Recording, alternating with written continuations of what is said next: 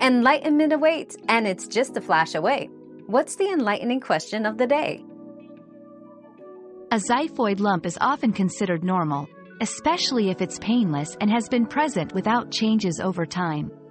This lump is part of the xiphoid process, a small bone extension at the lower end of the sternum.